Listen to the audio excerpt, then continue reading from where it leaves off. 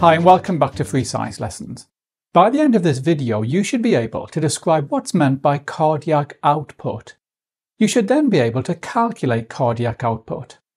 And finally, you should be able to rearrange the equation for cardiac output to calculate either heart rate or stroke volume. In previous videos, we've been looking at the structure of the human heart. Remember that blood passes through the heart twice on its journey around the body. Deoxygenated blood from the body enters the right side of the heart, where it's pumped from the right atrium down to the right ventricle.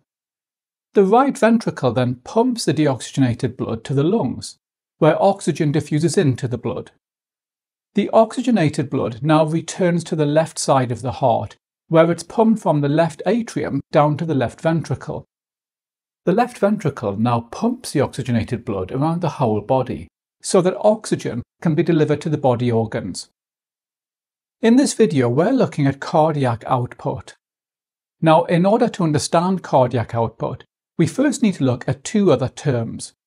These are heart rate and stroke volume. The heart rate is the number of heartbeats in one minute. In a resting human, the heart rate can range from around 60 beats per minute to around 100 beats per minute. However, during exercise, the heart rate can rise significantly. The stroke volume is the volume of blood pumped out of a ventricle during each contraction, and normally we consider the left ventricle, since this pumps blood around the body. A typical stroke volume is around 70 centimeters cubed.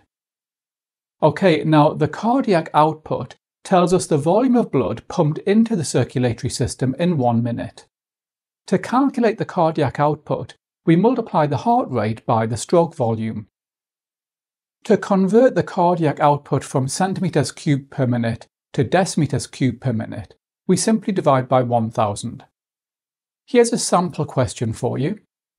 A person has a resting heart rate of 65 beats per minute and a left ventricular stroke volume of 75 centimeters cubed.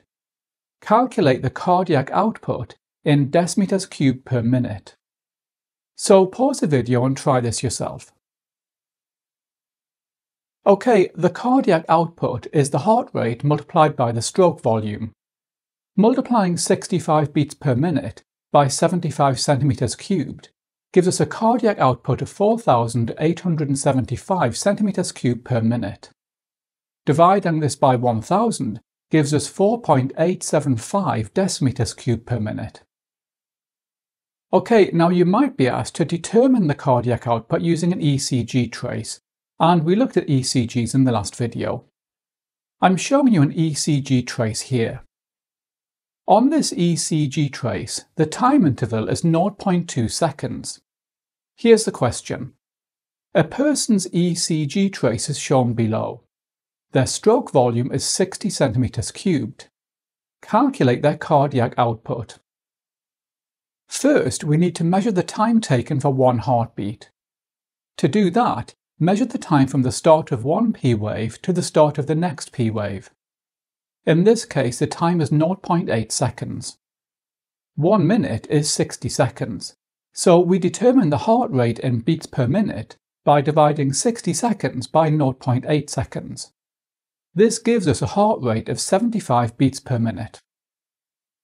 To work out the cardiac output, we multiply the heart rate by the stroke volume.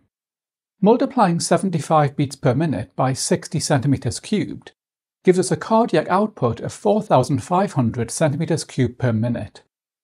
And finally, dividing by 1000 gives us a cardiac output of 4.5 decimeters cubed per minute. Okay, now we can also rearrange the equation for cardiac output to find either the heart rate or the stroke volume. And I'm showing you the rearranged equations here.